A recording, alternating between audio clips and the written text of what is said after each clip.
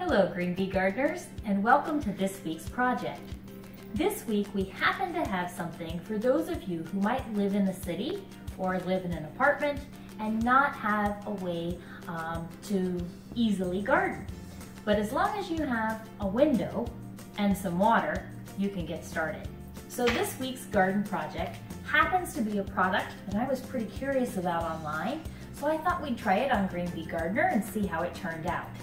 It's the Organic Mini Mushroom Farm by Back to Roots. Now they say that everything you need to grow three pounds of organic oyster mushrooms happens to be in this box.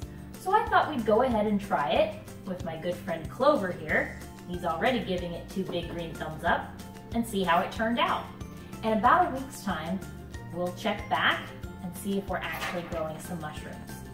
So for those of you who are interested or who might like to try this along with us, don't forget that you can find the link to the Organic Mini Mushroom Farm right underneath our video here on YouTube at Green Bee Gardener on YouTube. You can also find it on our website, greenbeegardener.com, and on our Facebook page, Green Bee Gardener. So here is the Organic Mini Mushroom Farm. It's in a nice little box. And you'll see right here this is the actual pack that includes the mushrooms and the seed mix.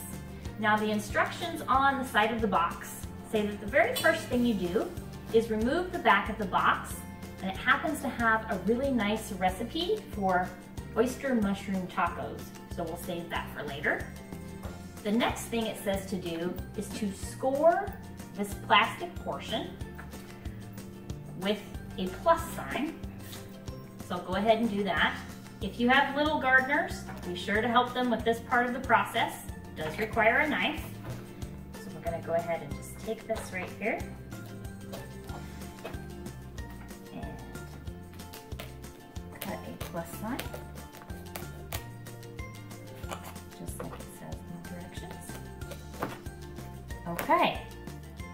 Now the next step, after I put the cover back on the knife, safety first, Green Bee Gardeners, is we're to take this block, mushroom starting block, out of the box. So let's go ahead and do that.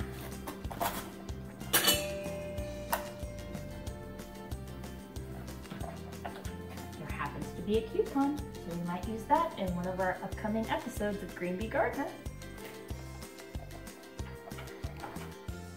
And the next thing that we're supposed to do is soak this block in water for, says up to eight hours. So you can see, it's actually pretty neat. You can see the mushroom starting mix and some of the mushroom, I should say spores in there. So we're going to put this in a bowl and soak it in water for up to eight hours.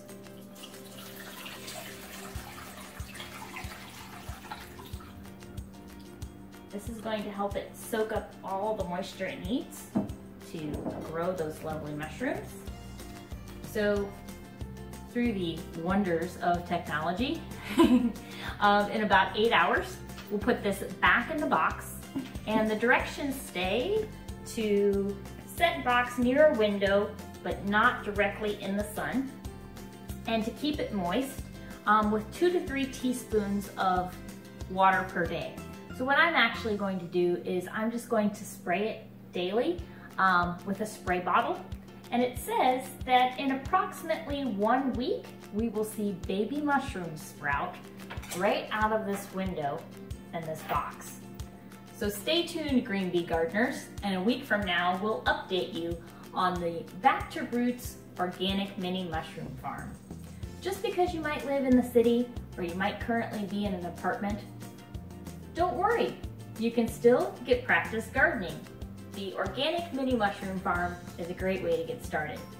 I don't know about you, Clover, but I'm pretty excited to see how this turns out. Stay tuned, check back in with us next week, and we'll see if we're growing mushrooms. Plant some seeds and save some bees, and we'll see you soon. Bye-bye.